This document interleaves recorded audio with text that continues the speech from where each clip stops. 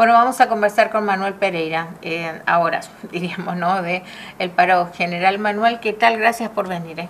Hola Liliana, muy buenos días. Bueno, uno, un honor estar en tu programa. Uno se pregunta, ¿no? En principio, como mamá y papá que está en casa, o los docentes que están nucleados con ustedes, o en general, ¿qué tiene que hacer el gobierno para que se levante el paro? Mira, Liliana, acá hay un silencio total eh, la angustia y la incertidumbre de los docentes, de los empleados públicos, en general de todos, los policías, para saber cuál va a ser nuestros saberes para el 2023 es cada vez es más angustiante.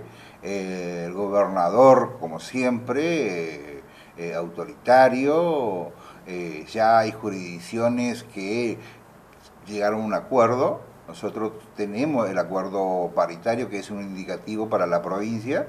Seguramente estarán reunidos con los secretarios generales de los otros gremios.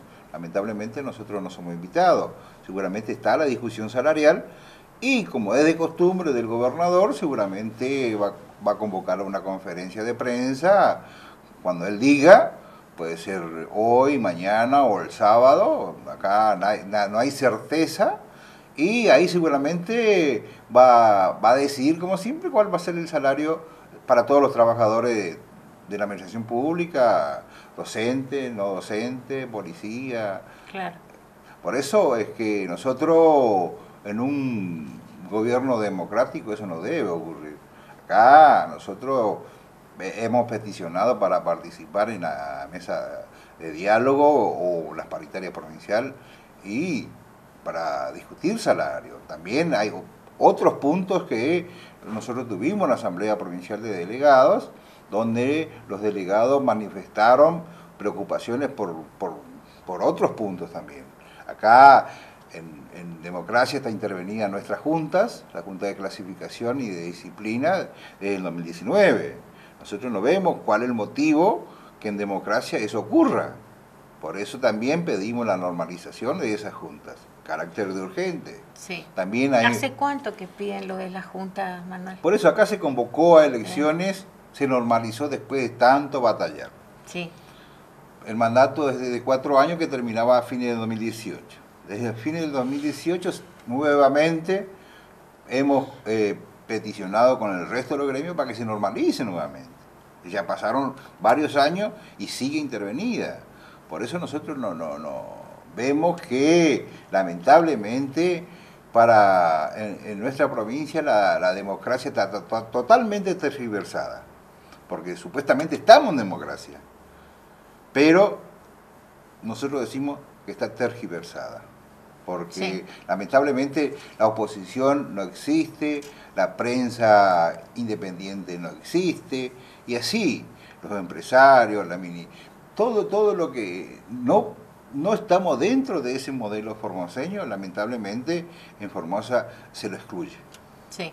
Eh, vemos que tenés ahí eh, una hoja en la que ayer en la conferencia de prensa fue, podríamos decir, eh, el punto de, partida, ¿no? Porque empezaste a leer todos los puntos. ¿Hay algunos más que nos quieras comentar? Por eso, lo que te quiero comentar Porque no es nada más que el tema de cuánto les pagan. o sea, hay más cosas. Por supuesto que la Asamblea se realizó en nuestro gremio con la participación de todos los delegados del interior y la preocupación es mucho. Porque acá nosotros tenemos un concurso de ingreso que lamentablemente eh, desde el 2011 eh, fue el último concurso. Y hasta ahora nosotros estamos peticionando que esos concursos se hagan como lo establece el Estatuto Docente. El docente va, se inscribe y participa. Ahora esos concursos duraron 21 años lamentablemente. Sí. Y de, de, esta, de estos detalles ¿no? que ustedes nos están comentando hoy, ya salió en los medios de comunicación el día horario que van a estar la, el paro, la movilización. ¿Alguien se comunicó con ustedes? Digo, ¿hay algún una ventana así de diálogo? La, la, acá el paro y la marcha está establecido para, para mañana, un paro de, de actividades sin concurrencia en los lugares de trabajo por 24 horas. Y una concentración en Plaza San Martín a las 8 horas donde vamos a marchar a Casa de Gobierno. Por supuesto, nosotros estamos en contacto con los docentes, los funcionarios o la parte de política no tuvimos respuesta. Por ahora. Por ahora. Y mm, cuál, yo le preguntaba hace un ratito también ¿no? a los representantes de los docentes autoconvocados, ¿cuál debería ser el porcentual que ustedes esperan para que mejore todo? O la cifra cuando hablamos de sueldo.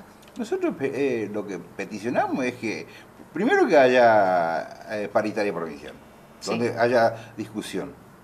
Y acá el sueldo garantizado tiene que ser de 160 mil pesos de acuerdo a la canasta básica de alimentos. Y el básico pedimos un incremento de 43,9% como acordó las paritarianas nacionales. Nosotros creemos que, que con esos valores eh, estaríamos conformes con, los salarios de, este año. Para empezar Para hablar. ¿El interior cómo está? Uno se preocupa porque por ahí hay algunos temas que se eh, añaden al petitorio la, preocupación es en todos lados lo mismo, el sueldo no alcanza, la inflación está por la nube y los sueldos por el piso, lamentablemente. Y cuando escuchás, digo, eh, Manuel, lo que por ahí se propone, ¿no? Eh, a nivel nacional y provincial para bajar la inflación, ¿hay algún plan? ¿Qué, qué norte ven ustedes o no hay? Y lamentablemente eso es un, ya muy técnico.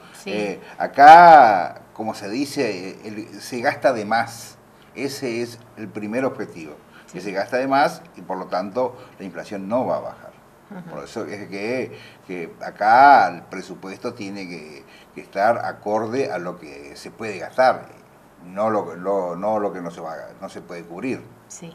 Eh, bueno, eh, tu mensaje a papá y mamá que están mirando en la casa, pues son muchos ustedes, ¿eh? no, no es que es un gremio chiquitito, se juntan con otro gremio también.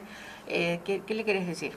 Y primero decirle a los colegas que, participen, que, realicen, eh, que, adhieran al acto de protesta, porque es la única forma de poder conseguir lo que logramos. Y a los padres decirle que, lamentablemente, eh, como en todos los años, es el momento de los gremios de, de peticionar eh, mejoras salariales y no somos escuchados. Por eso que llegamos a un acto de protesta. Muchas gracias. No, por favor. Bueno, conversamos también con Manuel Pereira de Voz Docente. Ya volvemos.